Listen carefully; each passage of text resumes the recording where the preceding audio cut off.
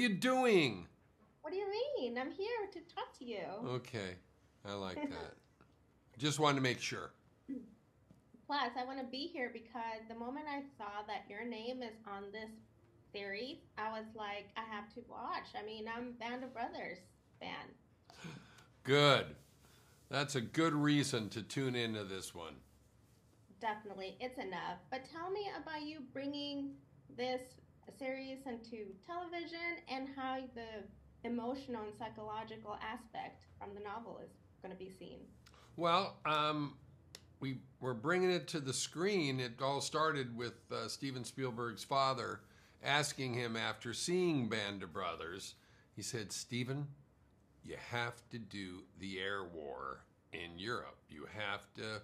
Pay respects to those pilots who tenderized the mainland of Europe to get our troops landed over there. And it always kind of stuck with Steven, of course, it's his dad, and uh, and with Tom and I. And uh, we finally were able to find a book that really uh, applied to the things and the kind of stories that we would like to tell.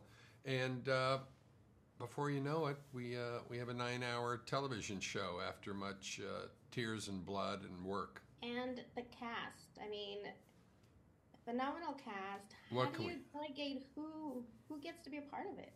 You know, what can you say on the cast? You know, we cast during COVID on Zoom um, with a brilliant casting director, Lucy Bevan. And we went through so many uh, boys and, and uh, through readings and scenes and matching them up, seeing if they could maybe find some chemistry between themselves. And uh, it, was a, it was a great process.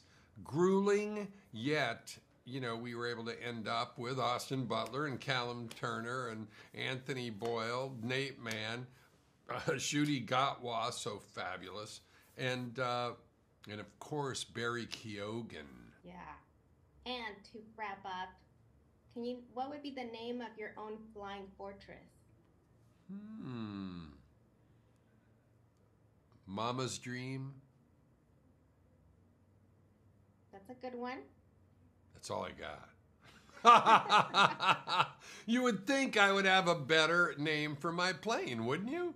After all that I went through in that. One of them's called Mike, and that's my son's name. So I guess I like that one the best. Well, that one's actually better. Okay, good. Thank you so much. Thank you. Congratulations. So good to talk to you, Nancy. Thank you. Likewise. Thank you, sir. Bye bye.